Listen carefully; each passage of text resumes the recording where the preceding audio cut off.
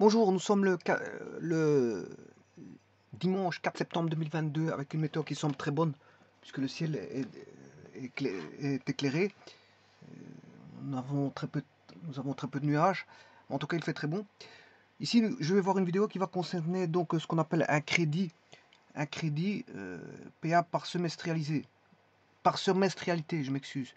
Donc un crédit, je vais l'écrire dans un petit instant.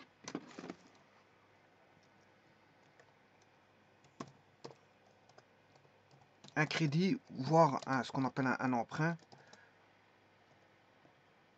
d'un montant de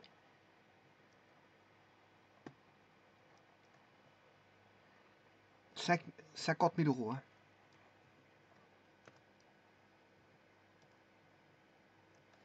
Capital emprunté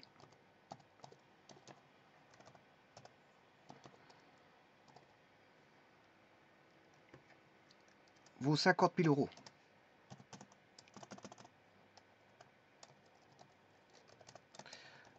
Payable.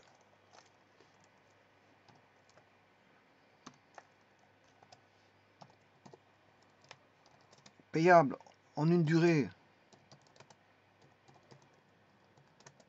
de 10 ans. De 5 ans, je vais mettre 5 ans, ça fait 5 ans. En semestrialité. Et on donne directement le taux. Le taux semestriel est de 3%.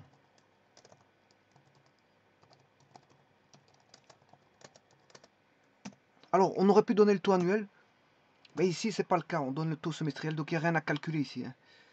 Euh, il n'y a pas de conversion à faire euh, d'un taux annuel vers un taux semestriel puisqu'en fait, il donne directement le taux semestriel. Voilà, donc ici, on a le capital emprunté 50 000 euros, payable en une durée de 5 ans, en, par semestrialité. bien sûr, vous aurez compris que ce seront des semestrialités euh, constantes. Des semestrialités constantes. Vous allez le voir dans un petit instant, tout sera fait. Alors, euh, bien sûr, quand on fait un prêt, il y a toujours ce qu'on appelle une durée. Hein. Il y a toujours un capital emprunté. Bon, sinon, voilà, c'est tout à fait logique qu'il y ait un capital emprunté. Parce que c'est le, but du prêt, c'est de prélever de l'argent via un organisme ou via un emprunteur, un, système voilà, d'emprunt, voilà, système de crédit ou un organisme de, crédit euh, tel qu'une banque ou euh, une société privée, etc., etc voire vers une personne, on peut, on peut emprunter via une personne et donc elle va fixer ses montants d'intérêt en fonction d'un commun accord, bien sûr, si c'est possible, je veux dire, euh, euh, en respectant bien sûr la, loi. Parce qu'il y a des lois derrière tout ça. Les emprunts, on ne peut pas faire ce qu'on veut. Donc ici, on a une durée. Une durée est basée sur une base, une base de temps qu'on appelle une période. Donc, euh, on aura une durée qui est une base de temps, voire une période. Cette période, bon, ici, ce sont des semestres. Alors, le taux ici, il est donné directement en taux semestriel, donc il n'y a rien à calculer pour, faire une reconversion du taux annuel vers le taux, euh, le taux vers le taux, euh, comment on appelle ça Le taux annuel vers le taux semestriel. Alors, comment calcule-t-on le taux, enfin la semestrialité, ben, la semestrialité, c'est comme une annuité. Simplement, euh, la formule est, quasi similaire, si ce n'est qu'il y a un petit changement. C'est au niveau du taux. Il est semestriel le taux. Donc, par exemple, si je prends l'annuité, l'annuité, c'est le capital de départ fois le taux d'intérêt annuel qui est euh, enfin ici le taux d'intérêt est annuel, plus euh, C0 fois le IA divisé par euh, 1 plus N, euh, je m'excuse, 1 plus IA exposant N moins 1. Voilà. Euh, bien sûr, ça, ça continue ici. La barre de fraction continue ici. Et ça, c'est là la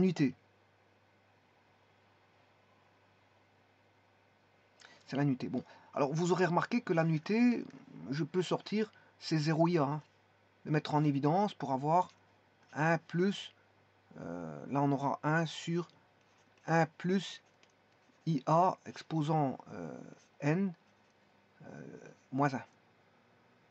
c'est la, même, la même chose, simplement que j'ai mis ces 0 IA en évidence.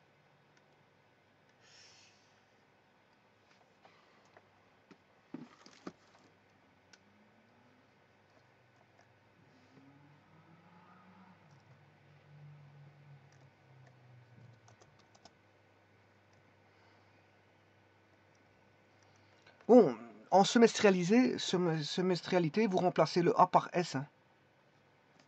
Vous remplacez le A par S. Donc, une semestrialité, c'est la même chose. vous allez remplacer, ici vous allez mettre S, S pour semestrialité. Ici, IS, tout semestriel, tout semestriel, tout semestriel, tout semestriel, tout semestriel. Voilà, il n'y a rien qui change. Bon, maintenant, je, comme vous avez compris ça, je peux repasser en semestrialité. C'est 0 fois le IS 1 plus 1 sur 1 plus IS exposant N moins 1. Mais ici, on sait quoi refaire, si vous voulez, euh, euh, voilà, un traitement que je, justement, je vais voir à l'instant.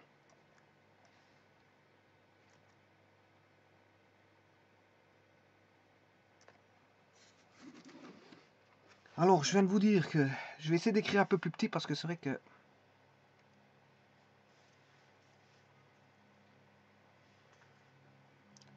IS, ah, je m'excuse, S. La semestrialité est égale à C0 IS multiplié par 1 euh, plus 1 plus is exposant n, moins 1.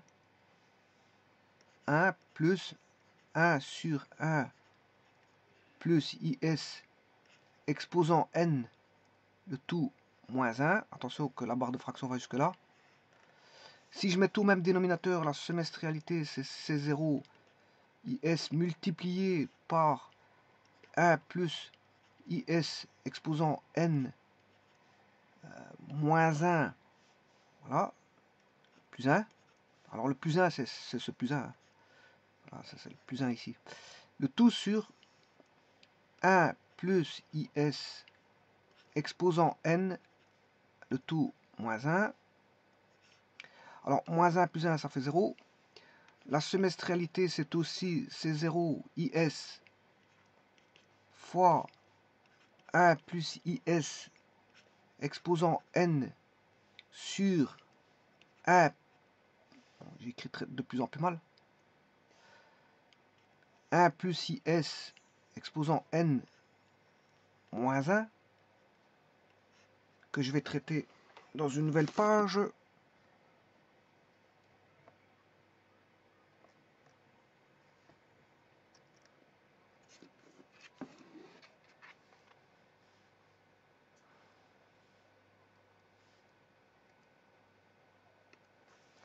A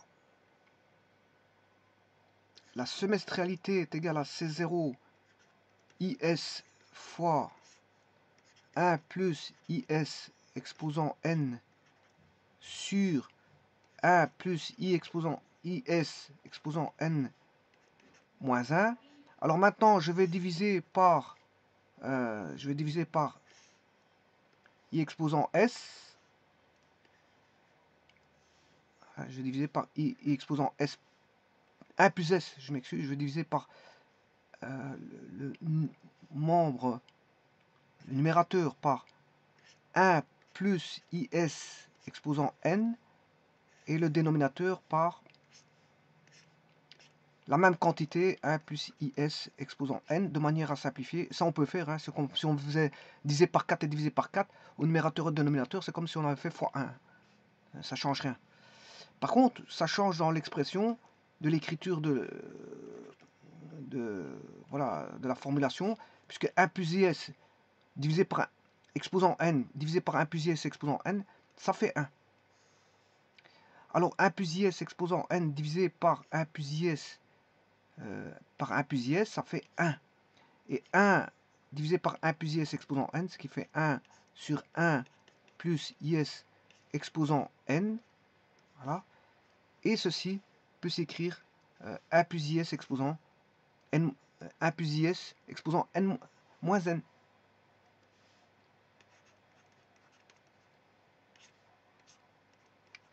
Voilà. Et donc, là, on y est. J'ai une formule euh, assez facilement applicable. Et donc là, le C0, le capital de départ, on connaît, puisque c'est 5000, qui est constant. Hein, ceci, c'est constant.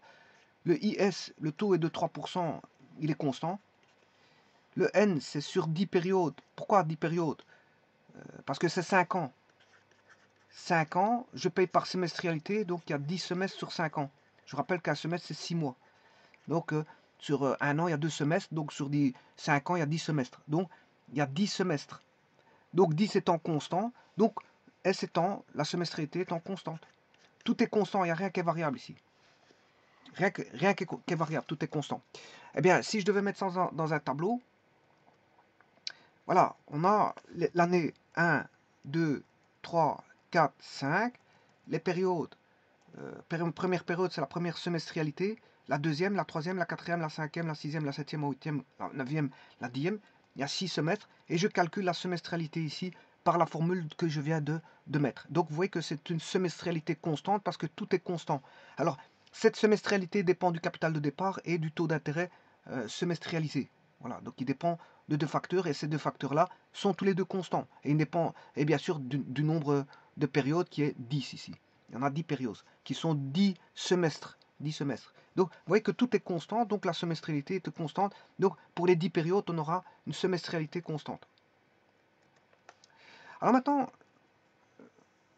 le total de ces semestrialités font 58 615,25.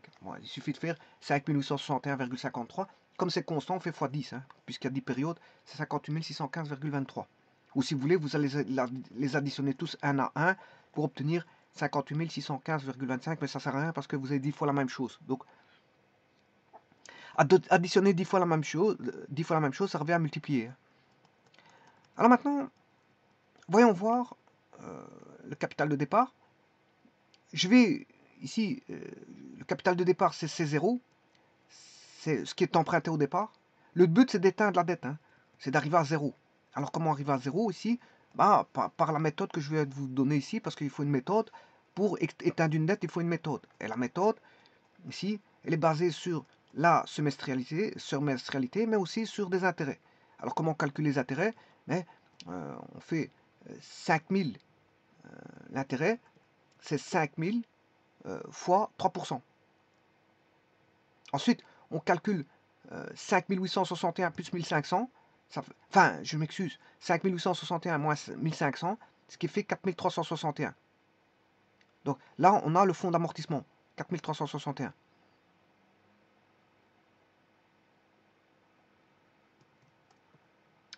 Alors là, je vais faire euh,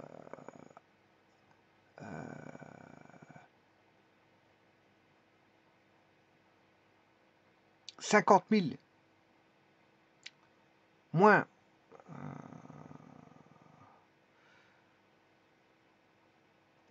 le fonds d'amortissement, 50 000 moins le fonds d'amortissement, ça fait 45 638,47. Et ainsi de suite. Pour le suivant, j'ai 45 638, je peux calculer l'intérêt. 45 638 fois 3%, 1369,15. 5861 moins 1369,15, ça fait 4492 euh, en fonds d'amortissement. Voilà. Alors, je calcule euh, pour avoir 41 146, euh, je fais 45 638 moins le fonds d'amortissement de l'année en cours.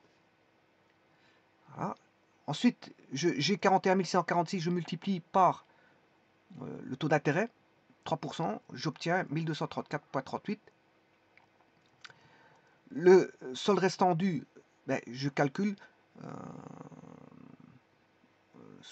41 146 moins le fonds d'amortissement. Ayant 36 518 fois le taux de 3%, euh, j'obtiens 1095,57.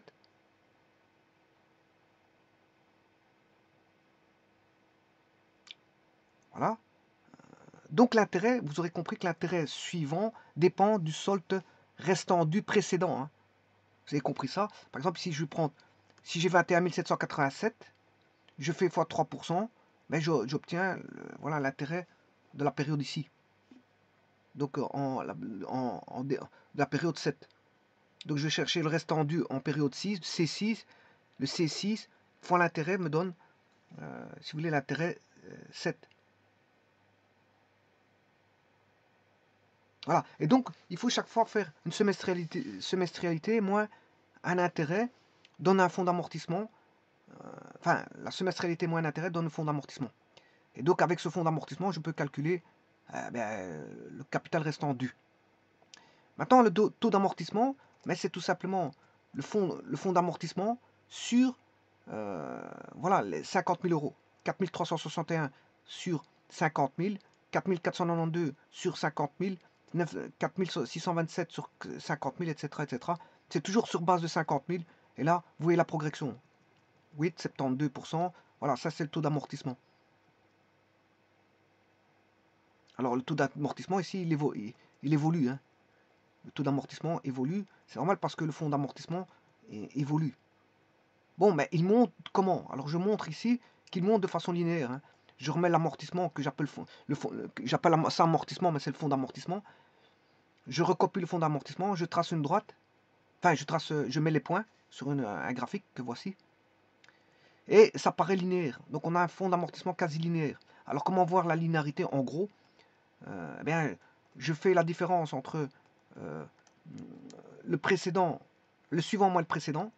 4492 moins 4361, j'obtiens 130,84.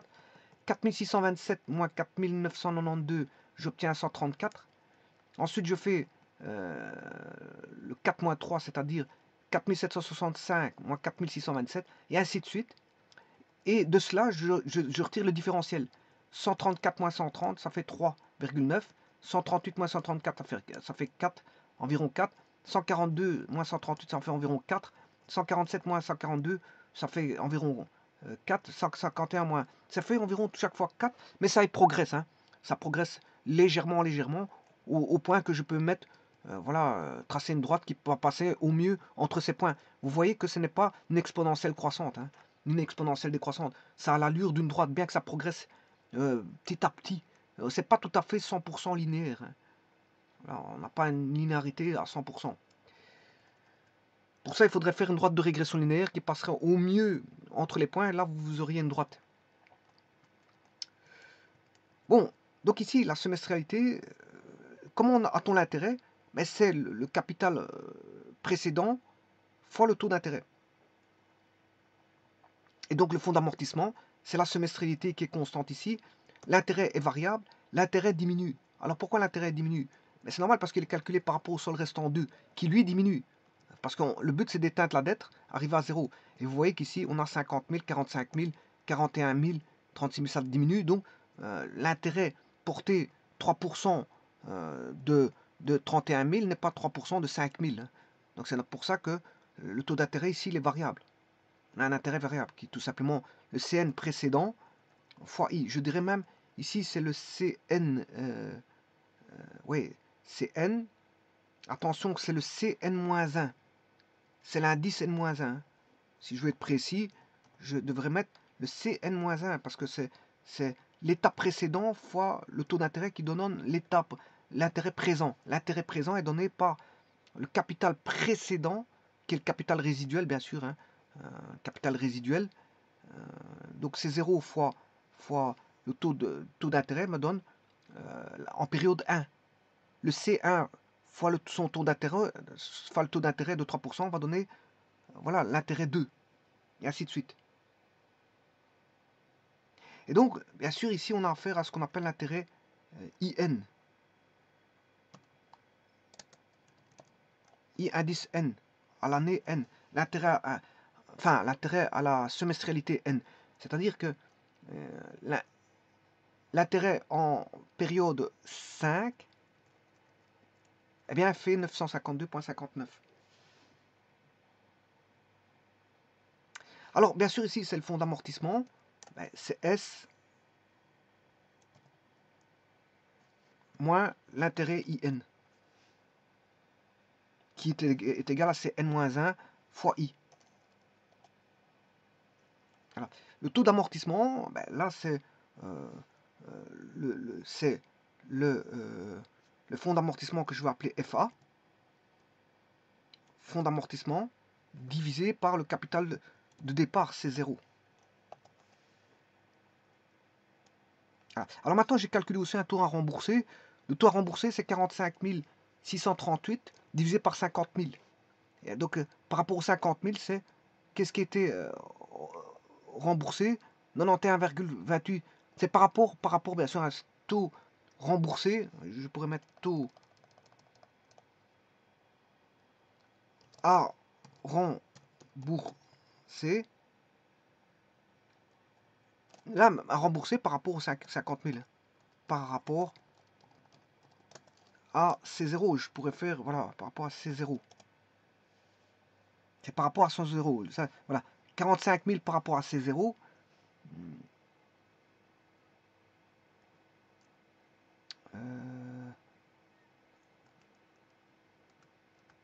C'est toujours par rapport à H3, on est d'accord. Et H3, c'est bien le capital de départ. Donc, c'est le taux, ici, 91% reste à rembourser, si vous voulez. L'année en cours, là. Enfin, la semestrialité en cours, là. En C1, le C1, c'est par rapport à 50 000, c'est 91% de...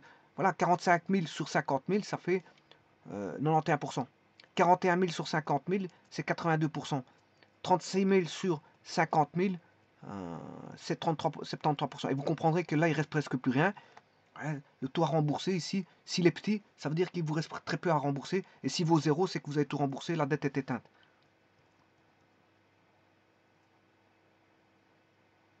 Alors vous voyez que le fonds d'amortissement évolue très peu. Hein. Comme je vous l'ai dit, il va de 4360 à 5690. Euh, euh, les fonds d'amortissement, leur somme vaut 50 000. Et je vous rappelle qu'ici, la somme des intérêts fait 8615 et que les semestrialités valent 58 000 615, même moins 815, euh, ça fait les 50 000 que vous avez ici. Donc, on retrouve les 50 000 du fonds d'amortissement. Euh, voilà, le fonds d'amortissement, c'est voilà le capital qui est voilà euh, réparti. Hein. C'est un capital réparti. voilà, pour calculer le, capital restant dû. Voilà, c'est un fonds, c'est un fonds qui est réparti. Vous voyez qu'il part de 4 000 à 5 000 de 4361 à 5690, il évolue. Mais en tout cas, le total fait 50 000. Mais voilà, le tout, c'est d'éteindre la dette. C'est d'éteindre la dette. Euh, comment Par une répartition comme celle euh, qui est donnée ici, sachant que les semestrialités sont constantes. Voilà, alors, dernière chose,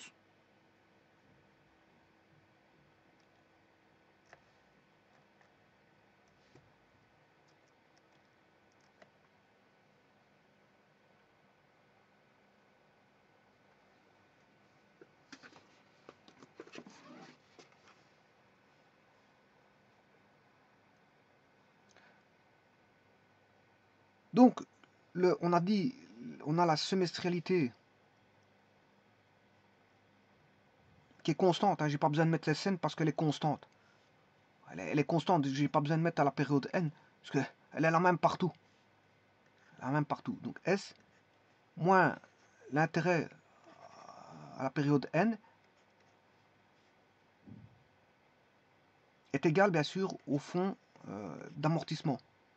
Ce fonds d'amortissement divisé par le capital de départ fait ce qu'on appelle le taux euh, d'amortissement. Et je vous rappelle que IN, euh, le, le, SIC, il est constant. Le IN est variable parce qu'on a, il dépend du, euh, du CN-1, c'est-à-dire l'état du capital, le solde restant, hein, c'est le solde restant de départ fois un taux d'intérêt semestriel ici, ici qui est constant. Hein, ceci, IS est constant, mais lui, il est variable. Donc, ce qui fait en sorte que IN est variable. Et donc, si IN est variable, le fonds d'amortissement est variable. Et si le fonds d'amortissement est variable, on a un taux ici qui est un taux euh, variable. C0 étant constant. Et donc ici, on a un fonds d'amortissement qui est quasi linéaire, hein, comme je vous l'ai dit. Quasi, euh, on va pas dire qu'il est linéaire 100%, mais il est, on va dire qu'on peut mettre sous forme d'une droite. Hein. vous voyez que c'est la forme d'une droite. Voilà. Euh, c'est sous forme d'une droite, donc voilà.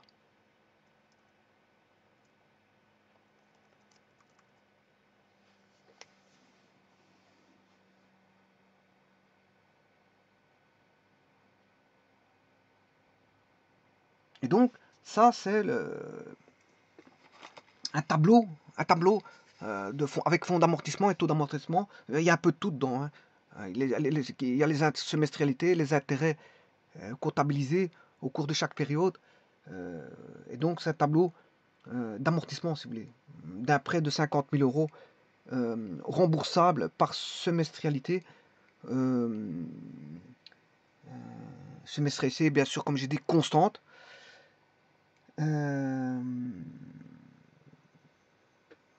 Voilà, par semestrialité, à un taux donné, un taux de 3%.